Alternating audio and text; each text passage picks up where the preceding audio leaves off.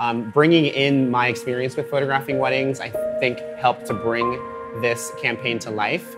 Um, and I just feel like it definitely had a little bit more of a realness to it. It was a little bit of a challenge, uh, and it always is as a wedding photographer, but I feel like um, it's always a, a, beautiful challenge, and every time it's completely different. So um, it makes it real, I think, once we have. Yeah, I mean, I think a lot of it obviously has to do with working with the model and maybe directing him or her in a soft way, you know, a not so aggressive way. And I think people respond to that.